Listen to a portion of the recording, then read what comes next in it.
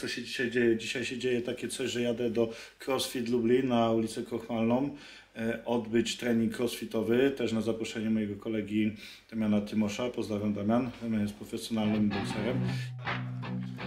I said you better watch what you're doing Cause I ain't gonna stop when I'm moving I'm headed to the top, I'ma do it I'm headed to the top, I'ma prove it And baby girl, I like what you're doing Your body's out of sight when you're moving.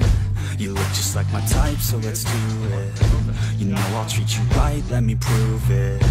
And I could go all night. I'm sick of being nothing, alright I'm gonna be something, I'll fight With every breath, trust me. I'ma be the one at the top, you can't touch me. I need to